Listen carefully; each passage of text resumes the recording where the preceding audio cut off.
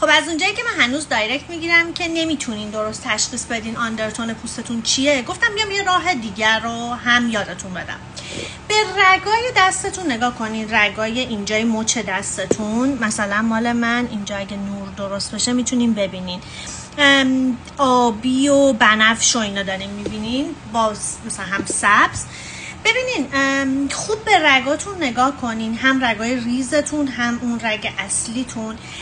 اگر که رگتون رو دارین بیشتر تو مایه های آبی و بنفش می‌بینین. آندرتون پوستی شما سرده.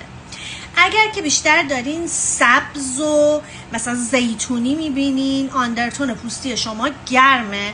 و اگر که بیشتر دارین سبز و آبی می‌بینین آندرتون پوستی شما خونساه عکسش هم اینجا می‌ذارم که تشخیصش براتون راحت بشه. حالا شما برای من توی استوری بعد